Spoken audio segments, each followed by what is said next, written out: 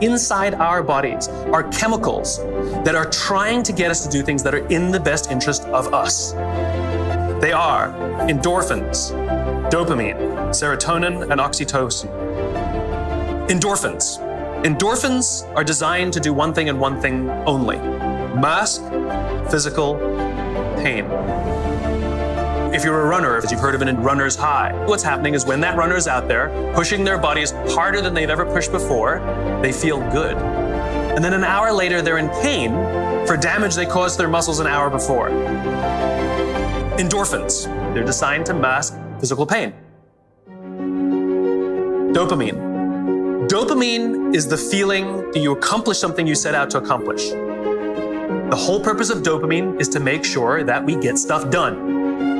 This is why you must write down your goals. There's a biological reason for that. We have very, very visually oriented animals. You have to be able to see the goal for it to biologically stay focused. And every time we achieve a goal and that makes us feel like we're making progress to the, the vision we can see, we keep going and going and going until we achieve something remarkable. You have to be able to see it. Dopamine. Dopamine comes with a warning. Dopamine is highly, highly, highly addictive. Here are some other things that release dopamine alcohol, nicotine, gambling, your cell phone. We can also get addicted to performance in our companies when all they do is give us numbers to hit, numbers to hit, numbers to hit, and a bonus you get, and a bonus you get, and a bonus you get. All they're doing is feeding us with dopamine, and we can't help ourselves. All we do is want more, more, more. One of the things we know about dopamine addict is they will do anything to get another hit, sometimes at the sacrifice of their own resources and their relationships. Dopamine is dangerous if it is unbalanced. Serotonin. Serotonin is responsible for feelings of pride and status. This is why public recognition is very important. We are social animals and we need the recognition of others. This is why we have commencement for graduation. You could get an email that says, Congratulations, you fulfilled all the requirements for graduation. Enclosed, please print out the PDF of your diploma. Wouldn't feel so good, right?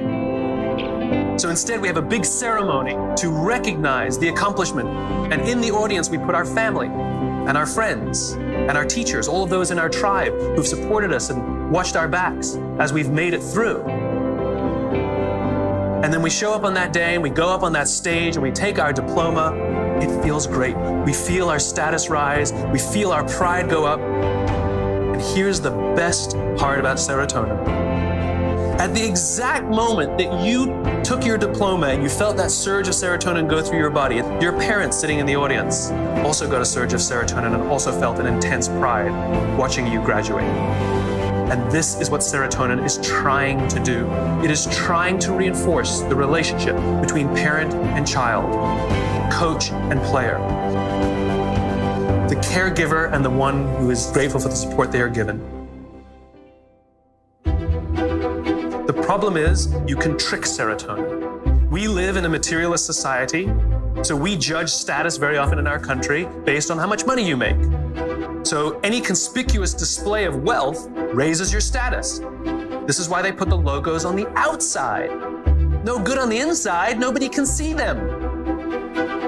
So you can actually feel your confidence rise when you put on the stuff because it's showing this display of status. It feels great. The problem is there was no real relationship that was reinforced because of it. You tricked the system. That's why we keep trying to accomplish things and accumulate more and more material goods, and yet we never feel successful because there was no relationship. We tricked it, we gamed it. Oxytocin. This is the best chemical of all. Oxytocin is the feeling of love, trust, and friendship. Oxytocin is that intense feeling of safety that someone's got your back. There are multiple ways you can get oxytocin. One way to get it is physical contact. Hugging feels wonderful. When women give birth to children, huge huge surge of oxytocin in their body. This is what's responsible for the mother child bond. It's all that oxytocin in the system. Another way you can get oxytocin is through acts of human generosity, doing nice things for people.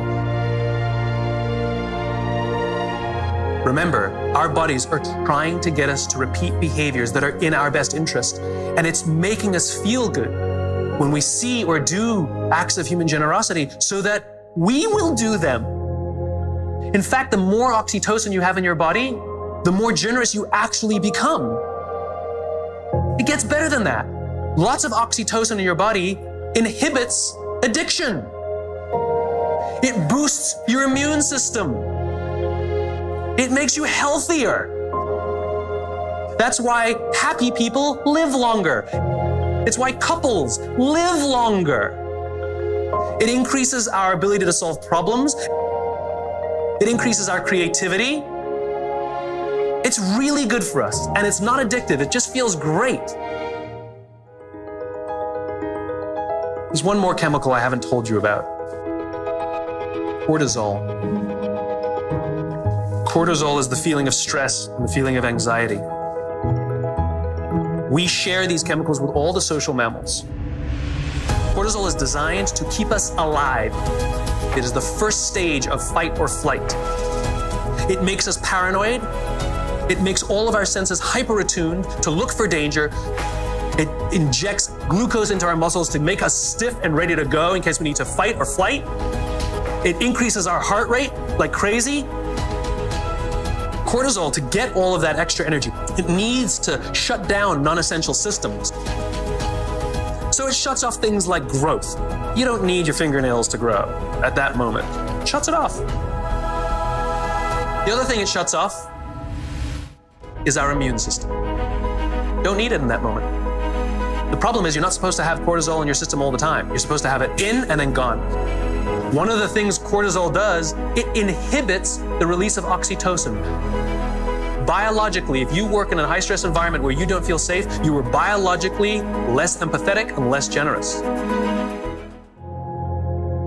Alcoholics Anonymous has been highly effective for decades. Alcoholics Anonymous knows that if you master all 11 steps, but not the 12th, you will drink again. The 12th step is the commitment to help another alcoholic. Service. Service to another. Oxytocin wins. Serotonin wins. The more we look after each other, the safer we feel, the more we feel like we belong, and the more we will work together to confront the dangers outside.